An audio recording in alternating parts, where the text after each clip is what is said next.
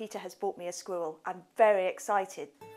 Well, what I would suggest you do, um, it's very fresh, is that we gut it and then we skin it and prepare it in the way that a, that a butcher would so that you have a, a perfectly clean carcass to cook as you wish. Can you show me how? Yeah, of course. So what we've done is open the abdomen and there you can see all the normal Looks very clean, doesn't it? the kidneys. You've got the kidneys, so you might like to keep those separate. Can I eat the liver as well?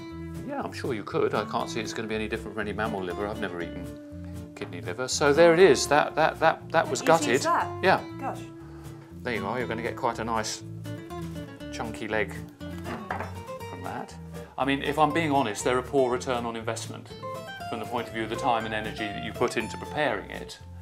But they are delicious. So Peter has skinned and jointed the squirrel beautifully for me. I'm just going to season these. Pepper. And I'm going to brown them in some hot oil.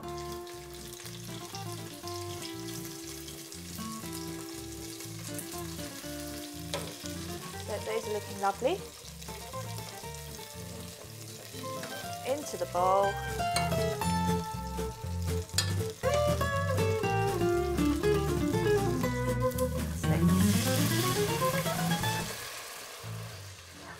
And I want that to boil for a minute or two before I add my meat.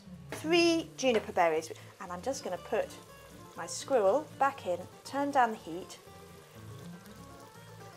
and that is going to braise with a little bit of thyme for about an hour. Just got some beetroot leaves here. People think that beetroot is just about the ball-shaped bit at the bottom, but in fact the leaves are delicious as well. And I'm just going to put a handful of these into my casserole and just let them wilt down a little bit. It's beautiful. It smells amazing, doesn't it? Oh, look at the colour. Look at that. How is it? It's perfect. It really is lovely. Good. It's really nice. Thank you very much indeed. Thank Nut- you for Nutkin will be proud of you. Thank you for bringing the squirrel, Peter. Pleasure was mine, not his.